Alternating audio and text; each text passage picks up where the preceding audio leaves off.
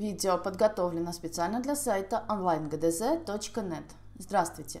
Сейчас мы выполним задание по русской литературе для 6 класса из учебника Коровиной. Раздел «Произведения русских писателей XIX века. Александр Сергеевич Пушкин. Дубровский». Рубрика «Размышляем о прочитанном». Первая глава, второй вопрос. Как относились к нему помещики-соседи, губернские чиновники – чем можно объяснить грубость и своенравие Троекурова?